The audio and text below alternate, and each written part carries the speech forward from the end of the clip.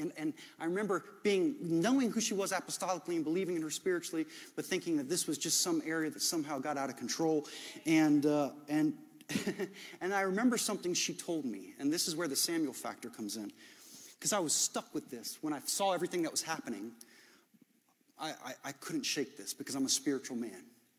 She told me she uh, privately grabbed his oil, uh, grabbed the oil and went in and poured it on his head and anointed his kingship.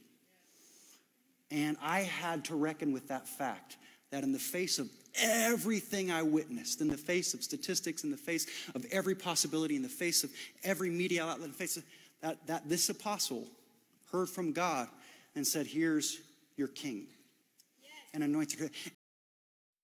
Paula White's son drinks the Kool Aid on Pastor Appreciation Day.